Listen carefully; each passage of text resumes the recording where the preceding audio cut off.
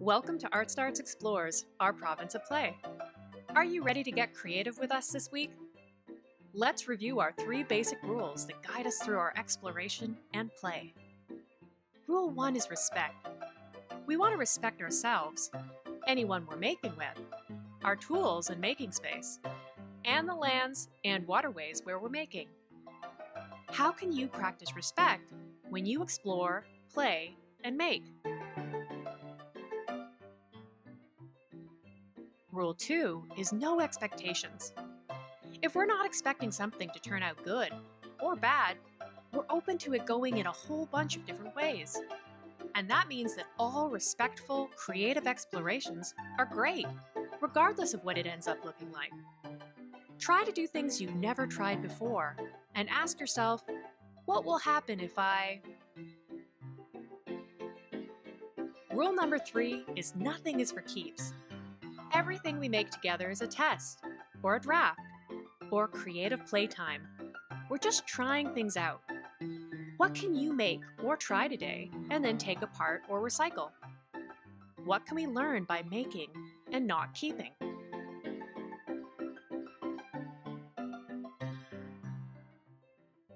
These are our three rules for when we explore together every week. Okay, what will we explore together this week?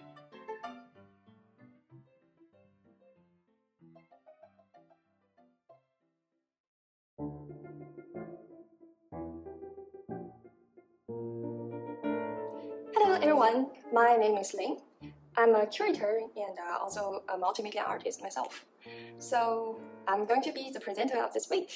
And for people who have no idea uh, what is a curator, uh, basically this person is just the one who helps the artist to um, put their artwork on a stage and uh, managing the exhibitions. And also when the artists are too shy to share the idea of their artworks, the curators are the people who help with conveying their ideas to the audience and also doing all the writing jobs for the exhibitions. So um, this week, I'm going to invite you to join with me of a short journey of exploring the possibility of utilizing everything we can find in life to make art. So here you can see um, um, the things on my table are basically the materials I'm going to work with today. We have some uh, papers, uh, the old magazines, and uh, the pamphlet that's ended up in your mailbox for no reasons. And also we have some food packages. And uh, I have a plastic bottle and also a glass one. Um, I probably is not going to use both of them, but uh, I just uh, put both of them here to show you that here are things that you can choose from. Um, I personally really do not like plastic and like everything made out of plastic, but uh, they're, they're basically just everywhere. So yeah, but uh, if you don't have a plastic bottle, you have a glass one, that's totally fine. Um, they probably are going to be our transparent canvas today. So um, they're the fun things that we're going to play with. Actually, making art out of the garbage, it's a very common thing in contemporary artwork. And uh, one example that I'm going to uh, present it's the artwork on this year's Art Basel uh, which is the biggest art fair uh, happening in Europe every year. A New York-based artist, um, his name is Leonardo Drew, made a large installation, so attracted a lot of attention because people are thinking um, uh, the installation that he made it really reminds them of the garbage recycling center. And my friends just uh, came to me and uh, they were saying like, do you think that contemporary art has something to do with garbage recycling? And I was like, yes, absolutely right. And why not? So I personally really think that garbage is a very good resources that uh, we can work with in art creating, not only because that uh, they're very easily accessible, um, they're everywhere. They're a part of our life. And also because they're like a miniature of our lifestyle nowadays. Yeah, so garbage is our life. And uh, why don't we include that in art making? So the most fun part of mixed media art making is like that you're actually like playing a game with the materials that you work with. And meanwhile, you're both the game player and also the designer of this game. So just uh, remember that point. And I hope that actually um, the process I'm taking today are going to inspire you to take uh, some steps out of yourself. So just uh, be creative, play, have fun, and uh, think a little bit, maybe. So, all right, let's just uh, get started. Um, as you can see, I have this plastic bottle. Um, as I mentioned previously, this plastic bottle is going to be my canvas today. Um, it's easily accessible. They are everywhere, and um, it really does not look very special. It's transparent. It has some patterns on top of it, but uh, that's okay. I don't imagine that it's to be like basically huh, a very even surface with nothing on top of it. That's boring. So let's actually the theme of this month's workshop is still contrast. So if I want to create some contrast out of this plastic bottle, what we're going to do? Yeah, so we're going to add some colors. So here's why we're having this aluminum foil uh, food packages, potato chips over here. Oh yeah, and uh, when I was talking about um, the materials we're going to use today, I forgot to mention that uh, I have the glues and uh, I have scissors here. That's the things I'm going to work with today. I like if you don't have a glue, that's okay because uh, for our workshop, nothing is for tape. I recommend you to have a scissors because uh, that's actually going to allow you to create more shapes and uh, more shapes, more fun.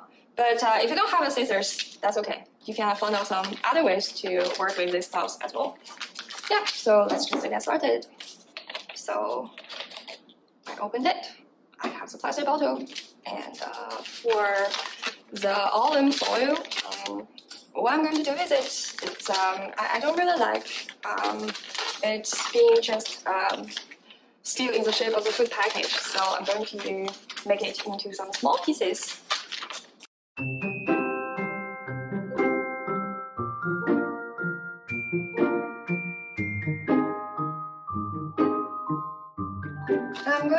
A lot of uh, making this kind of uh, uh, volume uh, foil uh, straws, and uh, then what I'm thinking is like I'm going to put all of them inside of this plastic bottle. So I still have it being transparent, but uh, there's some uh, shining part, you know, the color inside of it.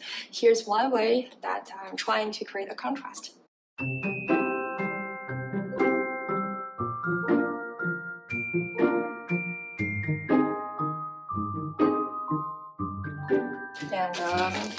Um, this thing here is like in a very strange shape because I used it with another art project that I was working in another day. So um, if you're wondering why it's in such a super random shape, uh, that's the reason.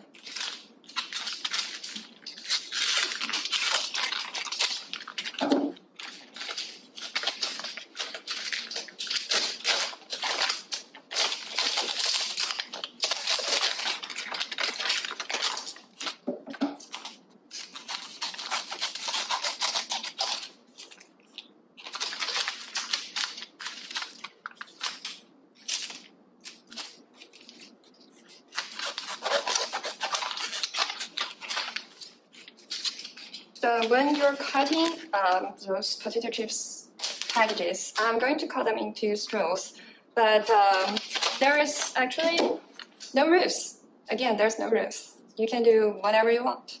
I want them to be very slim, very thin straws uh, in order to reach the visual effect that I want, but uh, it is free for you to do whatever you want with it. You can cut it into triangles, you can cut it into a circle.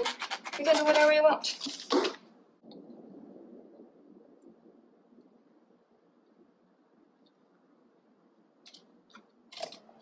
Yeah, that's uh, what I was talking about, like adding some shining part and also adding some color into it.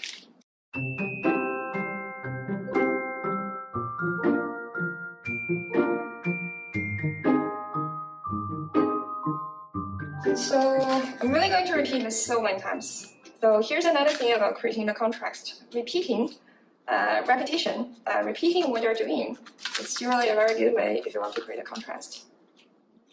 Because when you just have uh, like small stuffs, like something that is not really um, so easy to attract people's attention, uh, that's fine. Um, it's like, for example, this thrill. This is nothing special. Uh, think about if you have a million of that and throwing that, like uh, throwing that in front of everyone. This is really going to attract people's attention. Hmm. Actually, I don't think the scissors I'm working with today is doing a very good job, so I'm going to try to change it to this one.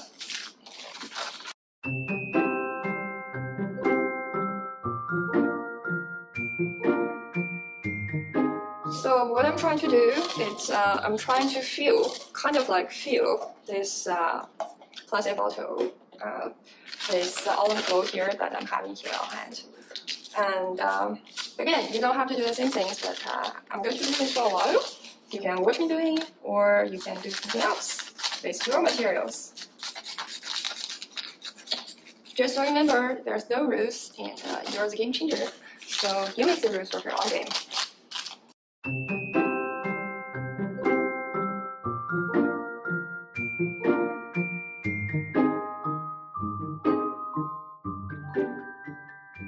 Um, one lesson you have to learn is always making math. It's like a very necessary part of uh, making art.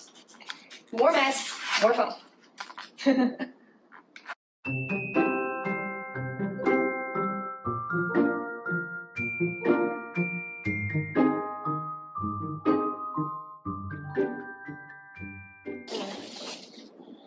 Here we really have a lot of them, and uh, I'm going to put them into that plastic bottle.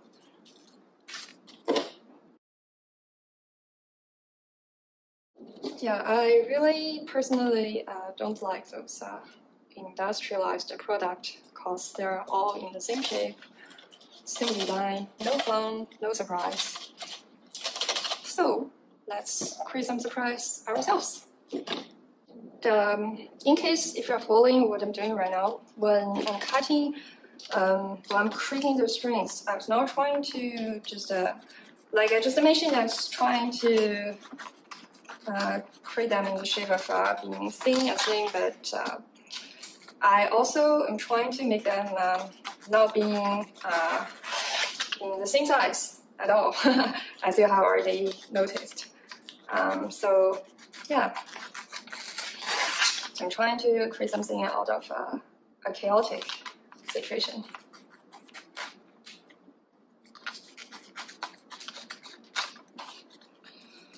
Something that has a really random shape and uh, something which is really not standard, tidy, and clean. That's also one way that uh, we can use to create contrast. of putting a lot of random shapes all together in an order. Yeah, so I have yellow here, I have red here, and we have the silver here for sure. Hmm, maybe a little bit more red and green.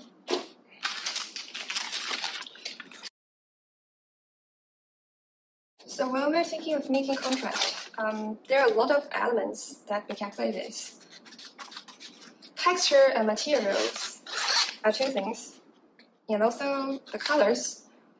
Like for example, a very simple example of uh, contrast is uh, black and white.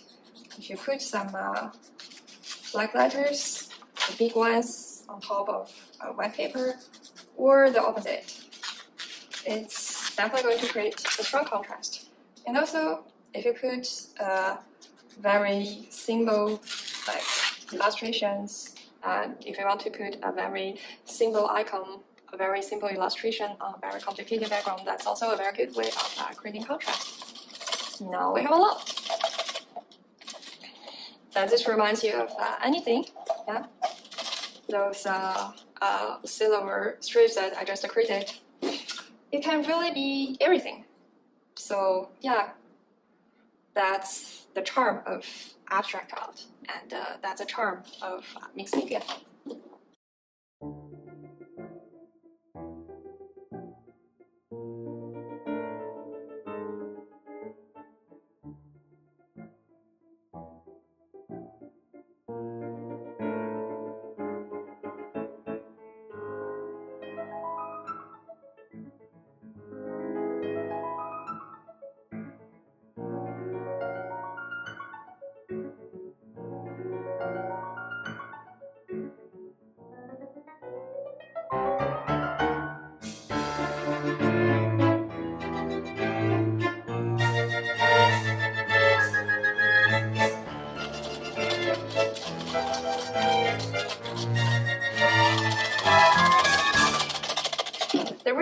I'm shaking it's like, um, as I keep mentioning, like I hate things in undecided order. so yeah, I want to make them a little bit more chaotic and random. Um, so here um, you can see like we're creating some contrast with um, the different colors inside of the plastic bottle, but it's not a very strong contrast because um, the surface of this plastic bottle is actually frost, so it's not completely transparent. If you want to increase the contrast, or um, like if you want to say uh, your um, aluminum form uh, foil strips inside of it in a more clear way, you can choose some more transparent materials, like for example, this glass bottle. Okay, so our next step is fun part of uh, cutting some papers. So why don't we create some uh, interesting shapes out of the magazines that we have? So um, let's see what I like. Oh. It's um, the magazines is good because it carries a lot of um, information that we receive every day without even paying attention. For example, oh, like those uh, huh, those dolls here. I think they're kind of cute. And I want them to be one character on my canvas. So here I'm using my fingers. You can use a scissors if you want. Doesn't really matter. Oh.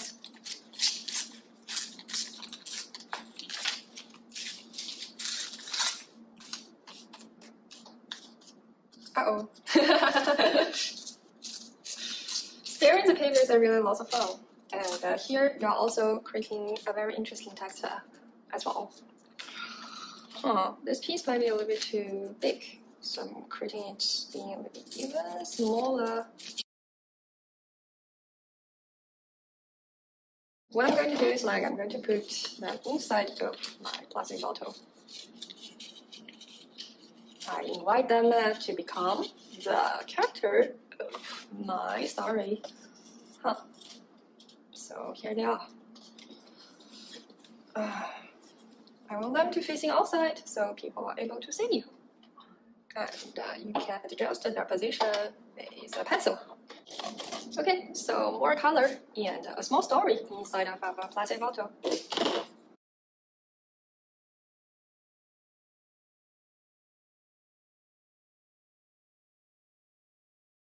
Maybe this one.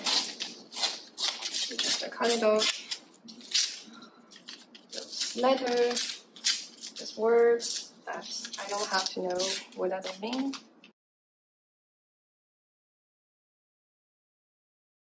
Okay, uh, we a lot to the inside part of the plastic bottle. So what about the outside part?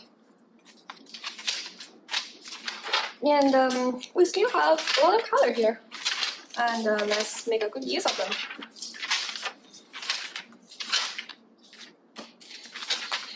I choose a color I like, and um, feel free to choose whatever color you like. Then now is my time to use my scissors again. Imagine that um, in the beginning of this workshop, I was talking about the magic of uh, creating some uh, 3D out of a 2D, and it's actually easier than what people usually thinking.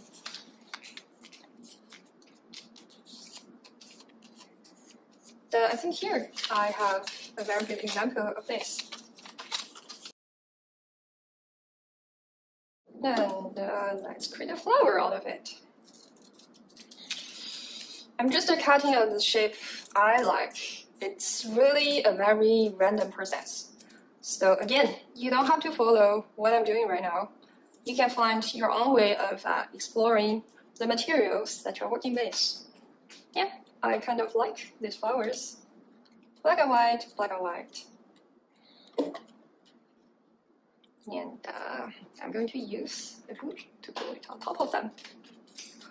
So, as I said in the beginning of this workshop, I hate the plastic bottle as a product that you can buy in market.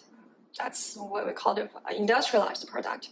They're all the same, same shape, same color, no surprise. So let's creating some surprise ourselves.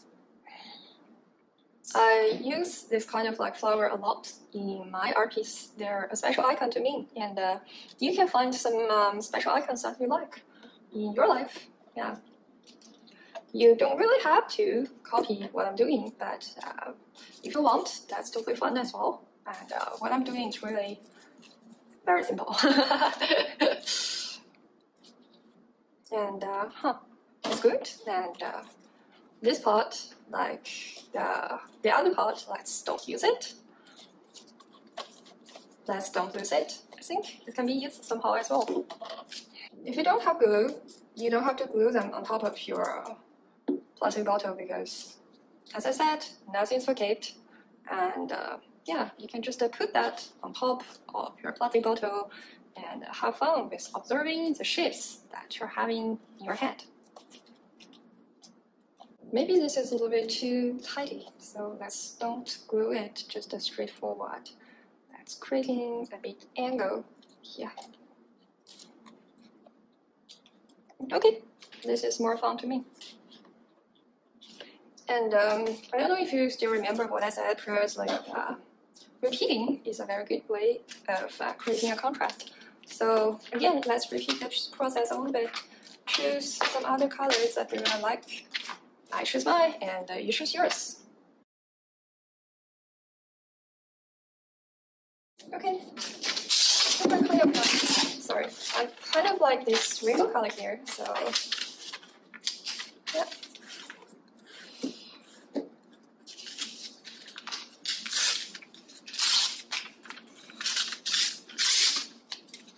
And um,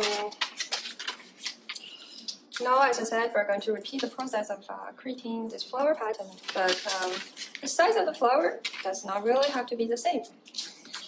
Different size, more fun.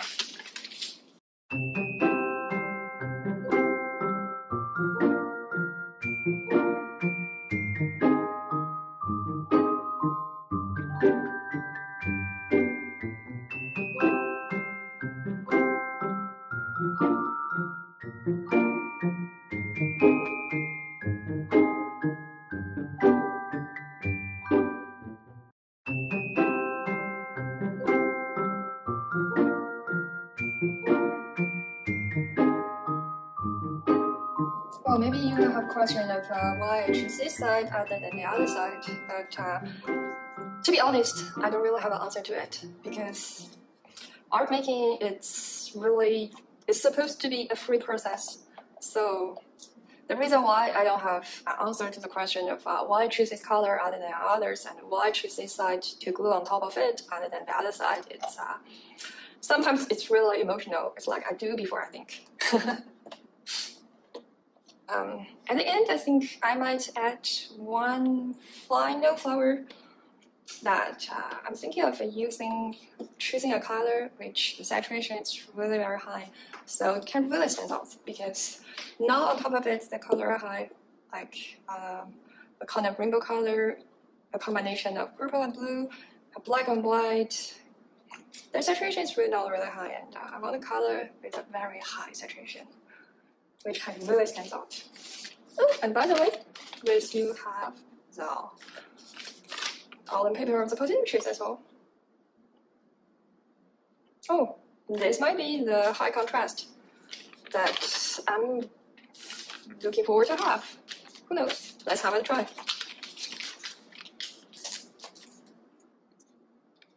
Flower, flower, flower. Hmm. Here we go. Might be a little bit too big. Hmm. And the contrast is way too strong. I don't like it. Okay. Then not you. See if you have some right in our magazine. Hmm, yeah. This is actually this is the real way of me reading magazine. I don't really pay attention to the contents because a lot of them are just uh, basically junk information, but sometimes I pay attention to the images.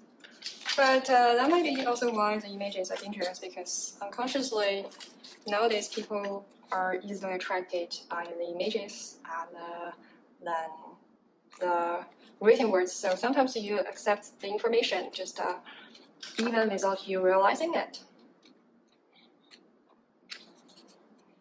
So yeah, if your parents stop you from watching too much TV, one of the reasons might be he or she does not want you to get easily accessible to the boring commercial that we have so many in our TV content. Okay, there.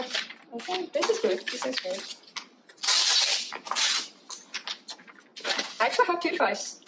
This one here looks pretty fun. And uh, this one here, it's the high contrast red that we have. Yeah, because the thing that we have this week is contrast, maybe I'm going to choose this color here, as you can see. Huh. It's really going to stand out, but I'm not pretty sure if that's going to break the balance that I already have here, but let's have a try.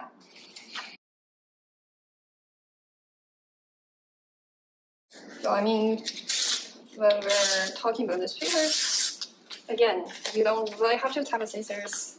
The scissors allows you more freedom sometimes, but um, yeah, actually you can have very even straight lines without really cutting it with the scissors. And paper are probably the things that I play most as a little girl. And uh, there's really a lot of fun to even to cut it with the scissors or cut it with my fingers sometimes. Let's see. On both sides, we have some red, and the red is a color I'm looking forward to have. Let's see which side is better. This one? Or that one? Hmm. Of course, most of the color we have on the surface are low saturation, so maybe this time I will go for the high saturation one, although the other side is a lot of fun as well. You may have a different answer than me. That's completely fine. you can think of uh, if you were me, what you are going to do with your own hand. Okay, here we go. And uh, we're done today, and I think I'm mostly run out of our time, so let's just stop here. I hope you are happy with this making process and what we have made together, or what you made on your end, because I have no idea what you're doing when you're watching this episode, and uh, I actually encourage you to do something different from what I'm doing here. So yeah, I really hope that I can solve what you're making. Is that really super different from what I have here?